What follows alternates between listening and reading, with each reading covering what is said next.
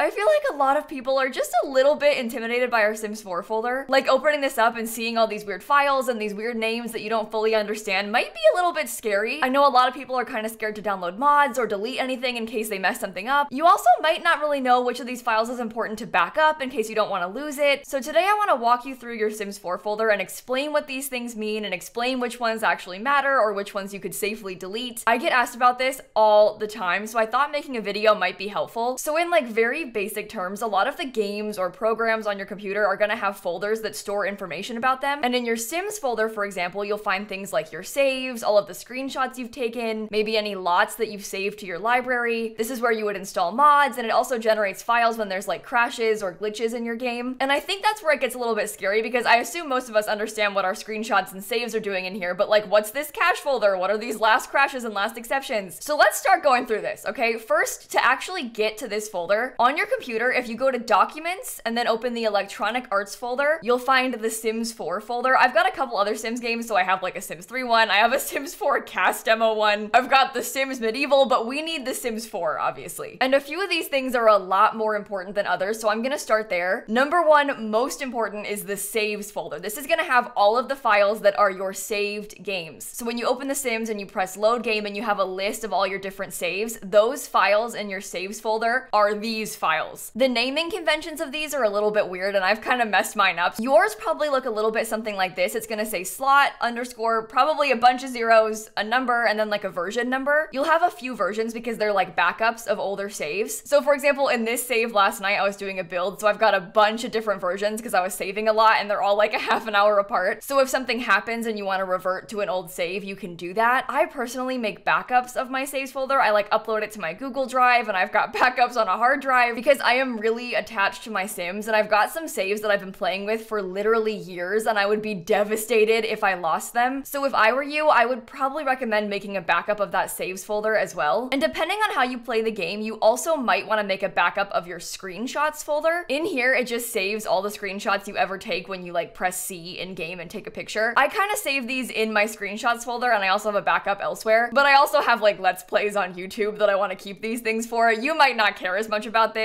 I also don't save like every screenshot. I kind of go through here sometimes and like categorize the good ones and delete the bad ones or like delete random build ones I don't need. Like for example, do I really need this picture? No, I could probably delete that one. Something extremely important to note though when it comes to deleting things out of your Sims folder is to never do it when your game is open. So like my game is open right now, I'm gonna close that first and then mess with the folder. And now that it's closed, I can delete some of these bad screenshots or like organize the good ones into better folders and stuff. Next is this tray folder, and this is actually your in-game library. So you know when you make a sim and it says like save household to library and start playing, or if you like download a lot off the gallery and you save it to your library, this is where it saves. You can see that I have a lot of files here in my tray folder. This is the kind of thing that you might want to back up if you've got any like special households or special bills that you're really proud of. I personally don't back up this folder because I post everything to the gallery and that may be a mistake because sometimes the gallery is like very annoying to work with and hard to find my older stuff, but it's too late now. I, I didn't save that stuff from like 2018. So, oh wait, look, 2018. I don't know what that is, but there's something in there from back then. But basically all of those files correspond to whatever you have saved on this library tab. So if you have anything in here that's important to you, I probably wouldn't mess with that tray folder. There's also a recorded videos folder, and this one has all of the videos that you've recorded in game. If you press V, it starts recording. And I'm gonna be honest, I don't use this. I film with like external programs. Literally every single one of these videos that's here, I've filmed by accident by like pressing V accidentally. I don't even know what they are. They're probably like random footage. Oh my god. Wow. Okay. that's kind of sad. That's my sim dying. This is me trying to take a screenshot, I think, of my sim dying. Wow. Okay. There's also like random build footage, I think. See, I like I just pressed it by accident and then stopped. I, I don't need any of these. I, what is that? What is that? so I I would probably delete these, but I guess I should probably go through them first in case there's like footage of of my legacy founder dying anywhere because apparently I have this. But if you use this and it's important to you, you might want to save a backup of this as well. It's just not really a thing that I use. The last like majorly important thing to back up is your mods folder if you use mods. This is also how you download mods. You just open up the mods folder and then place those files in here. Couple things to note here. Number one, this resource.cfg file comes with the game and you need that for mods to work. The rest of these folders are subfolders that I made to help myself like organize my mods and you can totally do that. When you're downloading a mod, all you really need to do is just drop it in the mods folder and then it works. But because I've got a few things, I find it easier to organize them in subfolders. So for example, this like archway window my friend made, I'm gonna put that in the build category. I've also got a few random CAS things like some CC hairs for my Not So Berry challenge. Uh, this one's a Peppa Pig costume. That's Blobby from Hotel Transylvania. But if you wanted to, you could have this in subfolders as well. You could have like a hair folder, an eyebrow folder, a shoes folder. I don't really use a ton of CC, but I used to organize things by like age too. I would have like a children folder for all my kids CC. I want to show you how to download mods really fast, and this is one of my absolute favorite ones of all time called UI Cheats extension. If you ever seen one of my videos and seen me like cheat my Sims needs by like clicking up the energy need just a tiny bit, or like right clicking on the money and adding simoleons, or cheating the seasons or weather, this is how I did it. I'm gonna link this down below in case you want to download it too, but basically all you have to do is download this file. It's gonna save a zip file to my computer. I'm gonna want to unzip that, open it up, and I'm gonna see these two files right here. Literally all I have to do is drop those into my mods folder. This one is what's called a script mod, so it's kind of like a, a bigger mod than just like a hairstyle or a shirt or something. So it's got this .ts4 script file and this .package file. You're gonna need both of those. And then in your game settings, click on other and make sure you've enabled custom content and mods and you also have script mods allowed. And then it should work. That's all you need to do. One thing to note is that script mods really often break when there's game updates. So when The Sims 4 has a big patch and it changes some things, it might break some stuff the mod was relying on. So the creator has to like go back in and fix it. And they're usually really fast about fixing those things. But for example, with things like UI cheats, you probably have to delete it and re-download it after big patches. So just go on their website and like check for updates and stuff. And then also when you open your game after a patch, make sure you re-enable mods because it'll by default disable them because they usually break. So you're gonna have to like recheck this box basically. I know downloading mods can seem kind of scary, but hopefully that helps. And again, if you play with mods, you might want to back up that mods folder. But that's pretty much all that I would like back up and save copies of. Now let's get into the other scary things. This first folder, the cache folder, is usually empty because it only has files when you're like browsing the gallery. Basically, it downloads pictures off the gallery and puts them in here. And then it should always delete them when you close your game. I guess if for some reason your game is closed and you still have files in here, you can delete them. But this one you can just leave alone basically. This next one, the cache STR one is kind of the same thing. This one's got like the promo stuff off the front page. So this like spotlight file is gonna have all those promotions from the main menu. And then it says EN for English and then US because that's where I am. Yours will vary based on your country and language and stuff. If you delete this, the game will just make a new one when you next open the game, so you can't get rid of it, but you also don't really need to worry about that. This next one, the config override folder, is where you can replace a few configuration files yourself. I'm gonna be honest, I have never done this. I have no need to do this. This is like high level stuff that doesn't really apply to most of us. It's also empty unless you put anything in there yourself, so you don't really need to worry about it. But I am gonna link this down below in case you wanna read more about it. I also found this page, this like user files explained page, which answers everything I am saying to you, but maybe in a little bit more detail. I'm doing some like low level explanation and kind of going off of my own personal experience, but this is gonna have a lot more information for you. So I'll have this link down below too if you've got any more specific questions. Okay, next is this content folder, and this one has the SDX drops in it. Basically, the SDX drops are like mini patches, and they're kind of like mods, like The Sims is sending you a mod for their own game. And then when they do a real patch, like around once a month, these things get installed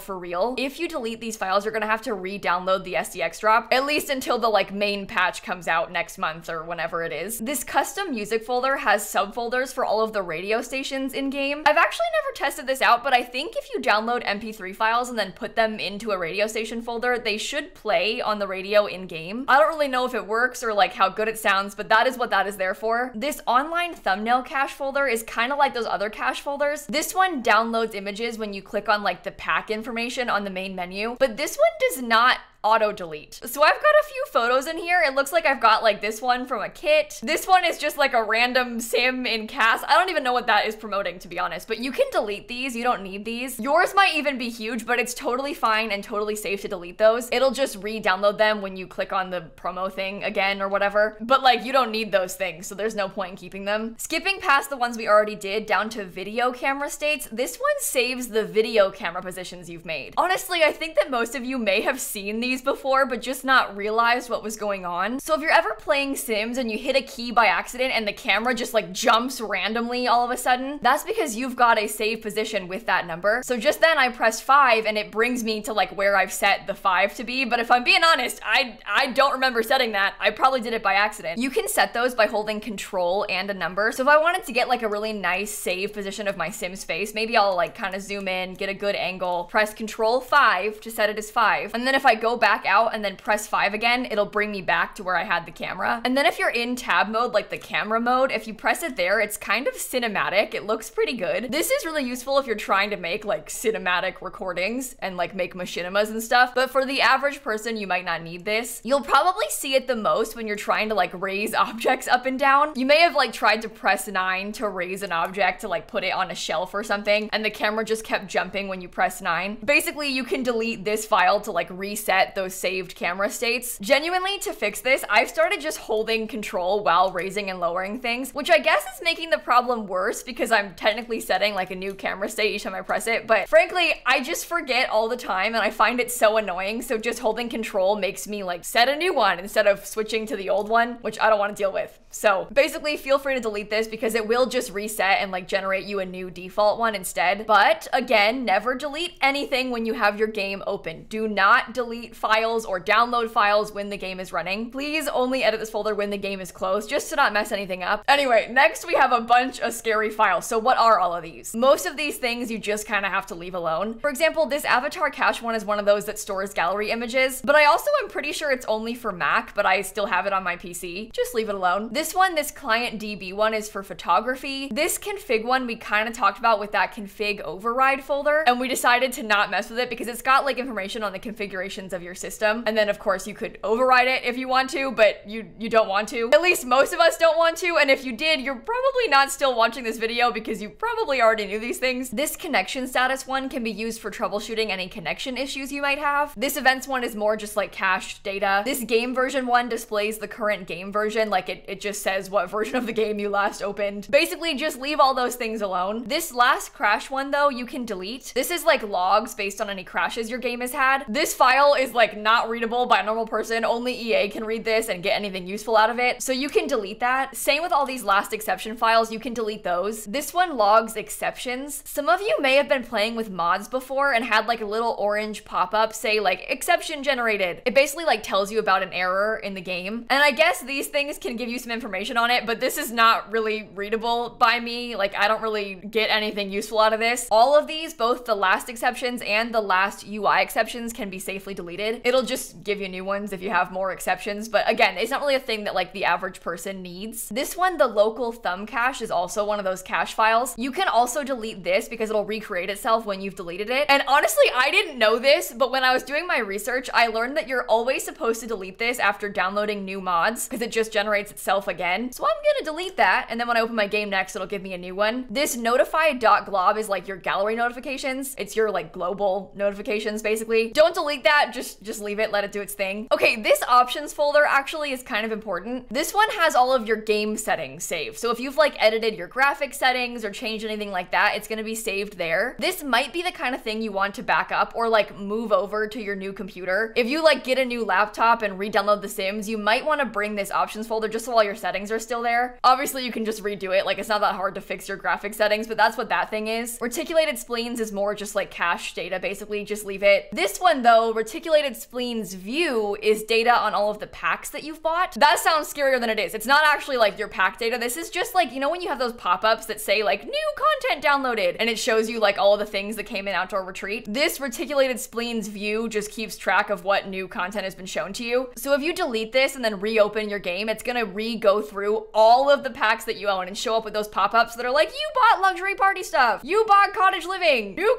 content added. Like it's just gonna go through all that again. And it will do it for every single pack you own. So probably don't delete that one. This user data one also has like some more data, don't mess with it. And then this last one, this like user settings one also has some more info on like tutorials you've done and like some UI settings you've set. You can also just leave that. That's kind of the theme here. Most of these things should just be left alone. But if you do delete something, it's not gonna like ruin your whole game. So if you do break something or you're having like a really weird issue, sometimes an option to try and fix it is to have your game generate a new Sims 4 folder. It's really easy to do. All you have to do is like move your existing one off to the desktop. Maybe back it up first, like save your saves and stuff that are important. But then when you reload the game, it's just gonna generate a new fresh one. Annoyingly, it also resets all of your settings because I deleted the settings folder. Listen to that, it's even playing me music. I usually have the music off. Oh wow, okay. Sims delivery incoming because I technically deleted those. The menu's kind of scary. I have no saves.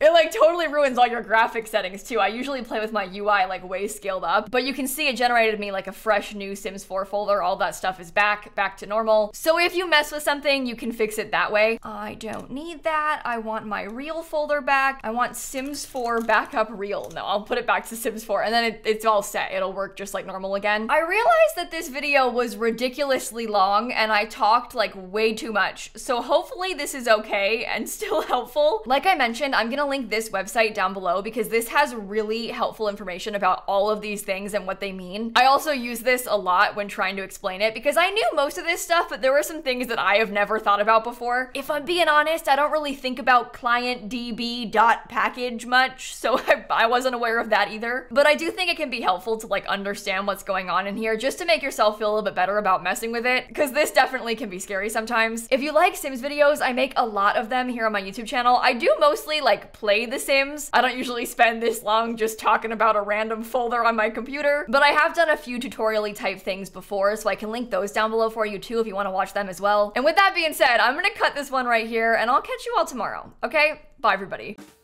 Oh my god, I've been recording for an hour. I really hope this video is not that long. I thought it was gonna be like 10 minutes long. This is bad. This is too long. It's like too long to be helpful.